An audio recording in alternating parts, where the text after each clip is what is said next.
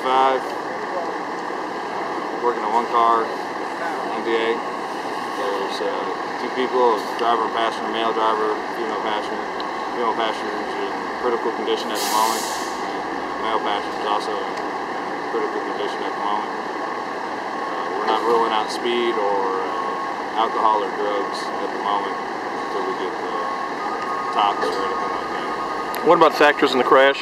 Uh, we're we're uh, we're not ruling out speed as a factor. We're not ruling out. I mean, I mean, is what what it looks like as far as the crash. Yeah, it looks like uh, he may have been traveling at a high rate of speed coming around the corner, and that he had uh, lost control of his vehicle. Okay, and what about ages? Uh, ages: uh, the driver was 18, the passenger was 60. And unidentified yet? Uh, we're still waiting to notify the family of what's going on and make a positive ID on the driver. Got it.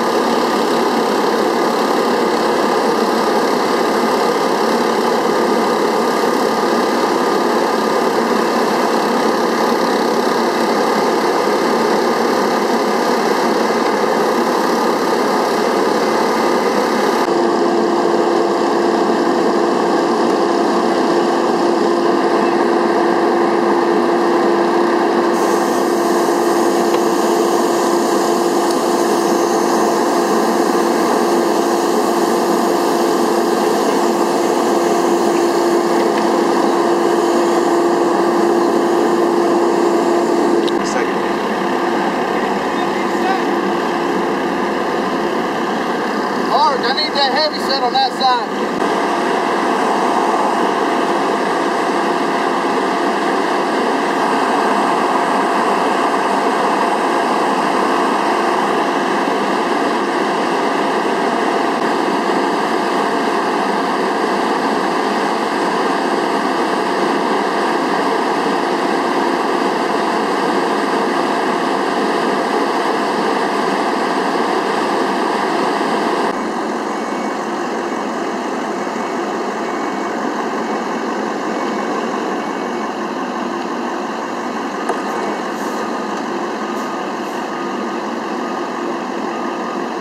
Okay.